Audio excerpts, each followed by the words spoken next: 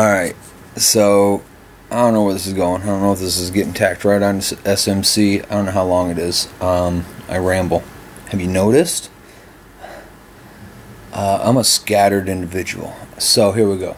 Every Friday or Saturday, I post stuff on my Facebook, Adam Kniffin at Facebook. Go find me.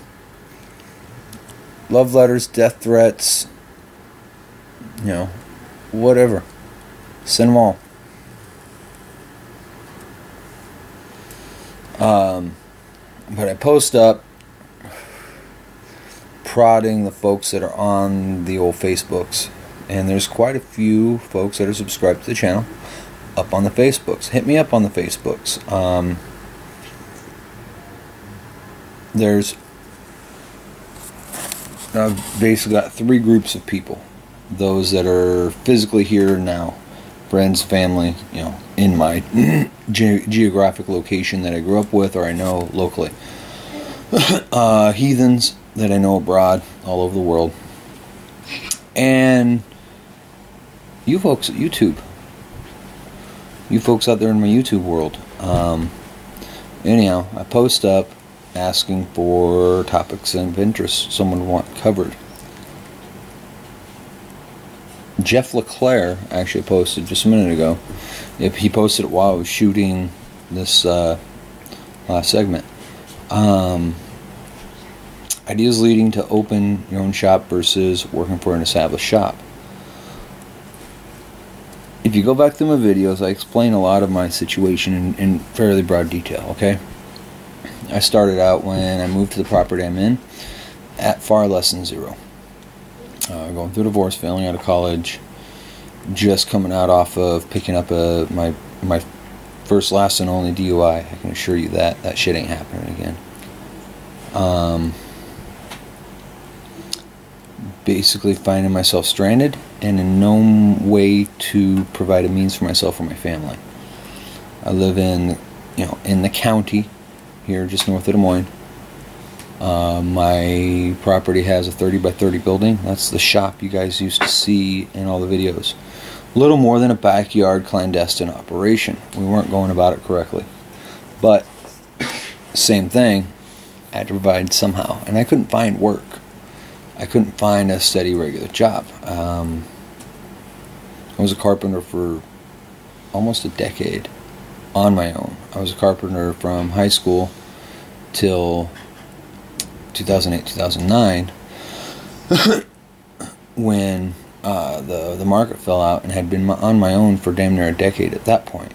This year marks the the 10 year marker since I've actually had a real jobby job of any longevity or import. Having that kind of background, you don't find jobs easily. Having a license, you don't find a job at all so I started doing it. Um, first job I sold was a, a Sideswipe on a Toyota, uh, not a Honda Civic, sorry. And I knew principles, basics, I knew my way around. I, I could do it. it. Came out great. You can see the pictures on the Facebook shop page. I took the deposit money and went and bought basics for the shop. I bought my first line file. I had a DA already. Uh, I went through and, and, bought some things I needed. I was working with really cheap guns at that time. Um, so that's kind of where I'm at. I wasn't in a point where I could just go out and get a job at an established shop. I wasn't.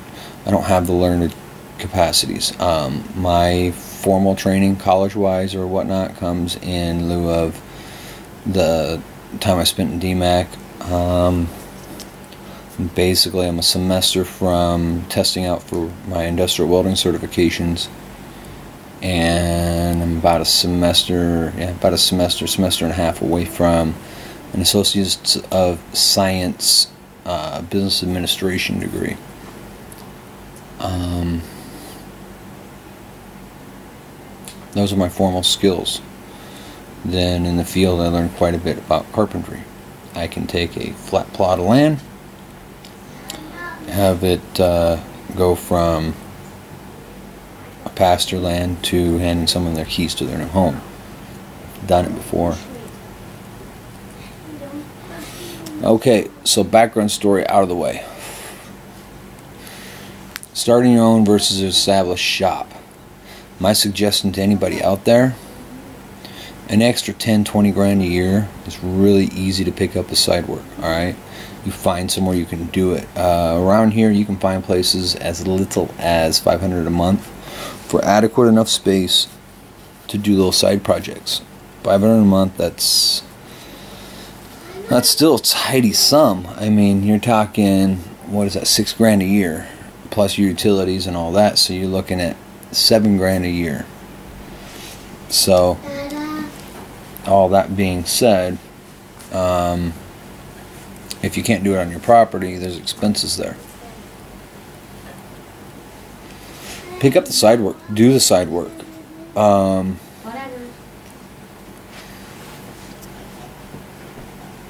and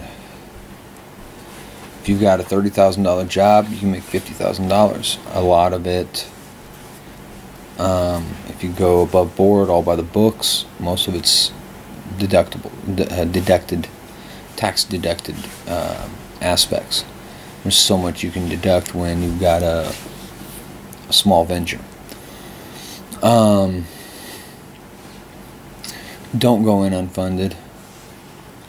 You know, versus working at a big shop, you go in, you got your box, you got your station, you got your work uh, your responsibility is to your immediate supervisor or supervisors and the project at hand. That's it. That'd be nice. Um, working on your, working for yourself doesn't mean you're your own boss. I've got up to eight or ten bosses at any given time that demand my single on only attention each. So don't don't get that in your head. Uh, being your own boss doesn't mean you're just rolling in grub. Um, right now, we got to roll, keeping everything lean, um, keeping our overhead as low as possible. We still got to roll about three grand a month before Jeremy or I really get paid, and that's beyond any materials or supplies, parts. That's beyond those things. Just keep the lights on, keep us insured, um, keep all those things taken care of. So there, that's the, the, the pros of working for someone. The, the the cons of working for someone, obviously, you don't get to pick and choose. Well, working for yourself, you don't always get to pick and choose. We're taking a lot of work that's just coming down the pipes. Whatever we can get our hands on to establish our name, to establish our shop. Um, now, you go into a shop situation, get yourself funded, either self funding, work, build up your tools and equipment, build up your portfolio. That's something I didn't do. My laptop I had prior got stolen, and there were a lot of pictures on it of things, not particularly restoration involved, so it was moot point, but still, there was a lot of pictures of my handcrafted uh, items from wood to steel. Um, automotive projects we had done, you know, engine swaps and things like that. It's all gone. Build your portfolio. Save up your money. Shop the market. Find out what your insurance costs are going to be. Find out what your shop costs are going to be. You get as big a shop as you can for the money you can afford. Get the biggest compressor you can for the money you can afford. 80 gallon two stage 20 some CFM at 150 pounds, that's going to do you pretty good. And quite honestly, industrial level, that's the minimum. Um, establish your credit. If you can run lines of credit, that's going to help you. Uh, at that point, establish an LLC, get it separated from you. Put all of your shop fixtures, tools, everything in in an LLC, go to the um, Secretary of State, file it for 50 bucks. It's simple and easy. Uh, these are all steps that, if I had the time and the, the funds to do so, and then at that point, after you've established all your costs, start your inventory. Put a couple fives of lacquer thinner that you clean all your shit with away. Put a few gallons of clear away. Um, Make sure you've got the guns that you're going to need, you know, paint guns you're going to need for the first couple years. Make sure you've got all your air tools you're going to need, uh, wrenches, toolboxes, welders. Get all that stuff squared away, even if it's sitting in boxes, brand new in a storage shelter. Do it. At that point, you're set. You've got most of what you need. Um, have either leverage to a year's income or have a year's income. Minimum. Um, you know a minimum shop that's $72,000 a year. We're running bare bones about 72 grand a year.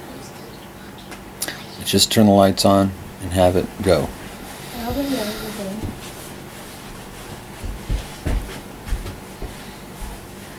if I had 72 grand just stacked away, we'd be in a lot different position, status, and situation. Parts deposits always get them, always save them, spend them on the parts and only the parts and materials for that job. Even if you got to go out and buy all the shit you need for that job and put it on a shelf until you're ready for it, even if it's a year from now, do it. These are things that you need to have in consideration um, you know, bookkeepers and attorneys and things like that. Those are things you're going to want. But uh, the basics of what I've just outlined sounds like a tall order, and it is. I didn't do it. We suffer for it weekly, daily, monthly, hourly. We suffer for it, okay? And that's all there is to it. But uh, if I had the advice, stick with the company you're in, make that extra cash. When your extra cash is more than your income cash and you can reliably count on it, I know, the world's your oyster. Don't start a business unless it's something you feel you need to do for you. That's pretty much my summing up of opening your own shop versus working for an established shop. If I had my way about it starting out, I would have found some old timer to go work for, just be a grunt, and get on the list to buy him out when he retires. Leverage my way into that situation. But it's not a perfect world. Those are all the perfect answers. Small business development company, corporation, whatever the hell they're called, they point you in the right direction. But all that stuff I just ran over, you can throw it out the window. You can flush it down the toilet if you don't have a plan. Clear plan with written objectives, timelines, measurable accomplishments. If you can't do that, don't go out. It's not worth it to you. You'll fail. Your company checkbook is not your personal piggy bank. If you do, you will fail. Um, if you're not prepared to be broke for 24 to 96 months, you'll fail.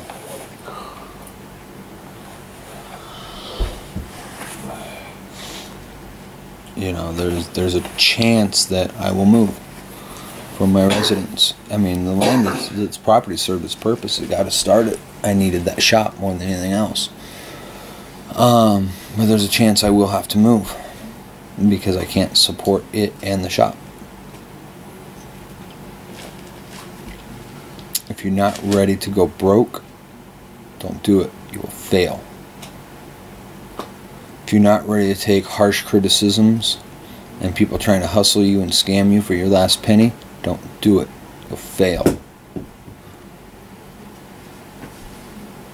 If you like nice things and new clothes and pretty cars and the latest electronics and you find that, that you can't live without them, don't do it. You'll fail. Um, running the same laptop I've had for three years. Most of my furniture is all my furniture is secondhand. At least half of it was either handed down to me from elder family members or given to me from family when I moved here. Um, if you're keeping up with the Joneses, don't do it. You'll fail.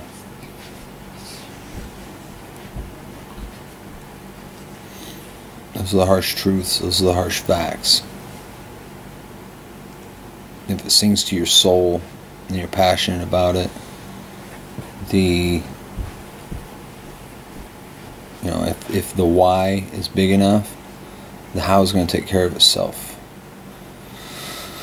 I've been at it about three years now in this one endeavor. The road is long and the road is hard.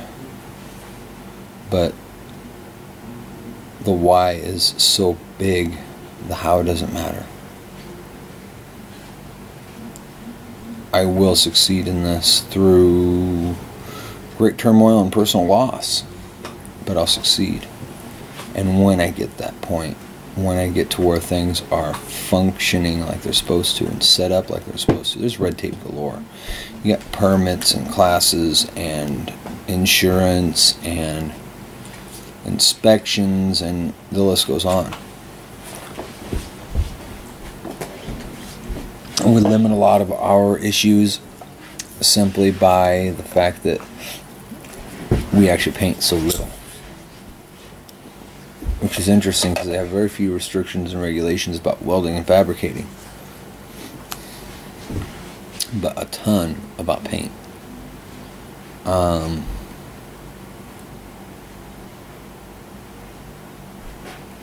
I intend to go get my sheepskin to hang on the wall. Uh, it'll take, right now, it would take student loans, and I've got a situation there to take care of.